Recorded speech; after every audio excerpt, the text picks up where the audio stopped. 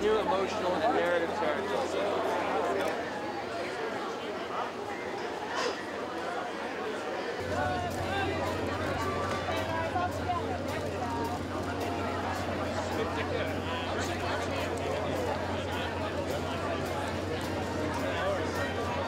This is an outfit that just keeps get, making it better and better and better. Up is, I think, Pixar's funniest film we've made, and I think it's Pixar's most emotional film.